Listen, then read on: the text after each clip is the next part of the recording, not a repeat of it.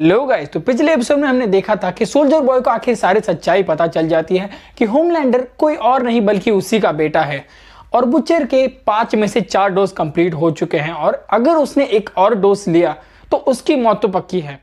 तो मेरा नाम है आदि अगर आपको भी मेरी तरह सुपर हीरोज के बारे में जानकारी जानना पसंद है तो चैनल को ज़रूर सब्सक्राइब कर दीजिएगा। तो एपिसोड की शुरुआत में हम देखने को मिलता है कि होमलैंडर रायन का पता लगा लेता है और उसे अपने साथ ले जाता है। वहीं दूसरी तरफ़ जो पिछले एपिसोड में स्टारलाइट ने होमलैंडर का वीडियो सोशल मीडिया पर डाला था, उसकी वजह से शहर में लोग नारा लगाते हैं कि आखिर मेव को आज़ाद करो।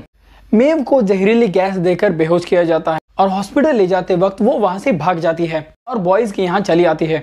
यहाँ ब्लैक नोर होमलैंडर के पास वापस आ जाता है और उसको सारी सच्चाई बता देता है।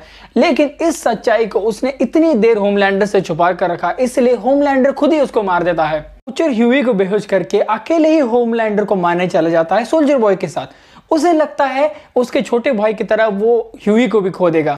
देखो बुचर भली मुँह पर गालियाँ देता है, किसी को मारता है या फिर बुरा बर्ताव करता है, लेकिन यह बंदा दिल से अच्छा है। बाद में होमलैंडर डीप से कहता है कि अगर तुम मेरा साथ देना चाहते हो तो तुम्हें प्रेसिडेंट को मारना पड़ेगा। उसके कहने पर डीप प्रेसिडेंट को मार देता है। ऐसा इसलिए होता है क्योंकि पिछले एपिसोड में होमलैंडर ने विक्टोरिया से वादा किया था कि वो उसकी मदद ज़रूर करेगा।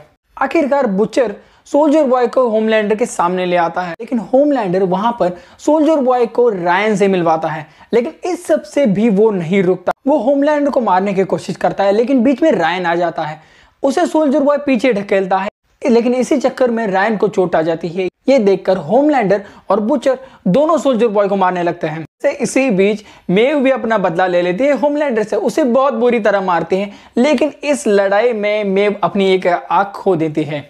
बाद में सोल्जर बॉय को रोकने के लिए और उसे लड़ने के लिए द बॉयज़ की पूरी टीम आ जाती है, लेकिन उसे फिर भी वो रोक नहीं पाता। आखिर में सोल्जर बॉय अपनी एनर्जी से सबको उड़ाने ही वाला होता है, तभी बीच में मेव आ जाती है और उसे बिल्डिंग से लेकर नीचे कूद जाती है और वहीं बहुत ही बड़ा ब्लास्ट हो जाता है।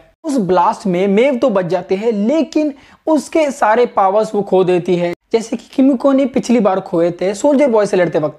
वहीं दूसरी तरफ़ सोल्जर बॉय को भी बेहोश करके कैद किया जाता है। बुचर के पाँच डोज कंप्लीट होने की वजह से डॉक्टर उसे कहते हैं कि अब सिर्फ़ वो कुछ ही महीने ज़िंदा रह पाएगा।